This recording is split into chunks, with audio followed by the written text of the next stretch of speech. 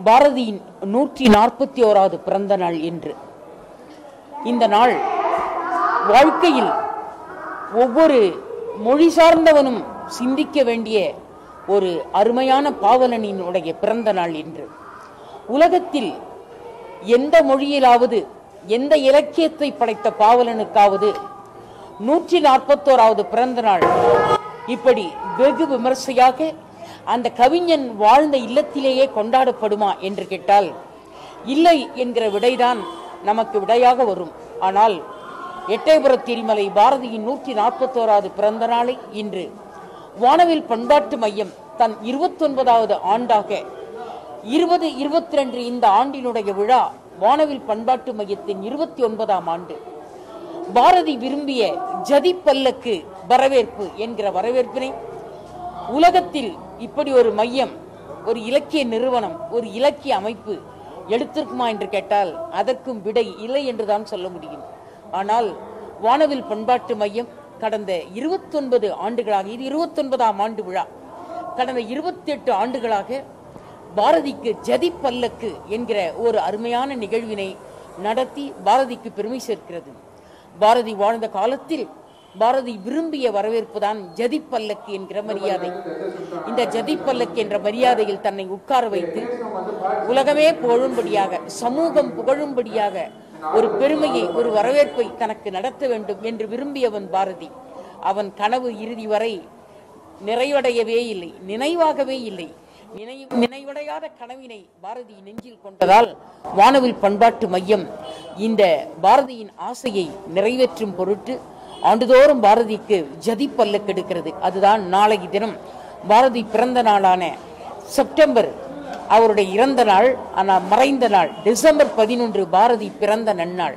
இந்த பிறந்த நன்னாளிலே பாரதிக்கு நாளைக்கு ஜதிப்பல்லக்கு எடுக்க இருக்கிறார்கள் இன்றைக்கு டிசம்பர் பத்து பாரதியினுடைய இந்த இல்லத்தில் பாரதி உலாவிய இந்த இல்லத்தில் இன்றைக்கு காலையிலிருந்து பாரதிக்கு விழா மிக விமர்சையாக எடுக்கப்பட்ட ஒரு விழா. காலையில் கண்ணன் பாட்டு முற்றோதல் நடைபெற்றது. இருபத்தி நான்கு பாடல்கள் அடங்கிய தொகுப்பு தான் கண்ணன் பாட்டு. அந்த முற்றோதலை ஒவ்வொருவர் ஒரு பாடல் வீதம் இருபத்தி நான்கு நபர் இருபத்தி நான்கு பாடல்களை பாடி ஒரு மணி நேரத்திற்கு மேலாக கண்ணன் பாட்டு முற்றோதலை மிக அருமையாக நடத்தினார்கள். அதற்கு பின்பு சிறப்பு விருந்தினர்கள் எல்லோரும் ஐந்து ஐந்து மணித்துளிகள் அவர்கள் சிந்தனையில் பாரதி என்று உரை கொடுத்தார்கள்.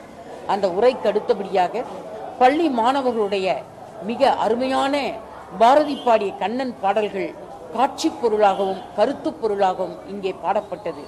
பிற்பகல் இருநூறு குழந்தைகளுக்கு மேலாக அதாவது யூகேஜி எல்கேஜி படிக்கிற குழந்தைகள் ஃபர்ஸ்ட் ஸ்டாண்டர்ட் படிக்கிற குழந்தைகள் முதல் வகுப்பு படிக்கிற குழந்தைகள் ஆரம்ப பாடசாலையில் பால்ய பருவத்தை படிக்கிற குழந்தைகள் இன்றைக்கு இருநூறு குழந்தைகள் இந்த மாறுவேட போட்டியிலே கலந்து கொண்டார்கள். இந்த மாறுவேட போட்டியிலே ஒவ்வொரு குழந்தையும் நேருவாக அன்னை இந்திராவாக பாலகங்காதர திலகனாக வவுசியாக சுபாஷ் சந்திர போஸாக குழந்தைகள் உலா வந்த காட்சி நெஞ்சமெல்லாம் நெகிழ்வித்த காட்சி.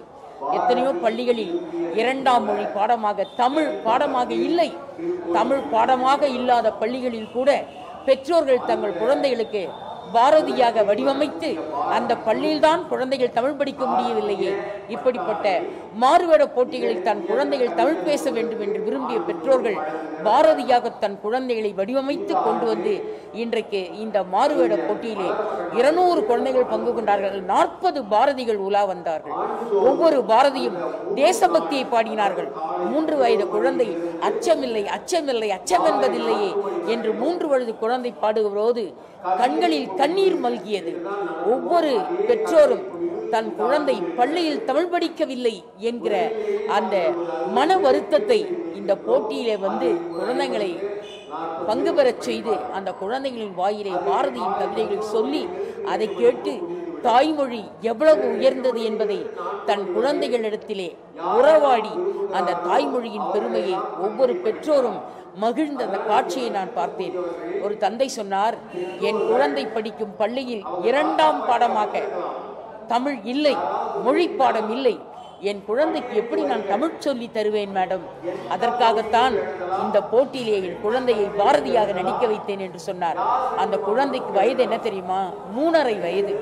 மூணரை வயது குழந்தையை காக்கை சிறகினிலே நந்தலாலா என்ற பாடலை பாடியது என்று சொன்னால் பெற்றோர்கள் இன்றைக்கு எவ்வளவு கவலையோடு இருக்கிறார்கள். தாய்மொழியை பாடமாக கற்பிக்காத பள்ளியிலே தன் குழந்தை படிக்கிறதே என்கிற அந்த கவலை பெற்றோர்களுக்கு இருக்கிறது. வீட்டு பாஷை கற்கிலாய் போ போ என்று பாரதி விரட்டினான்.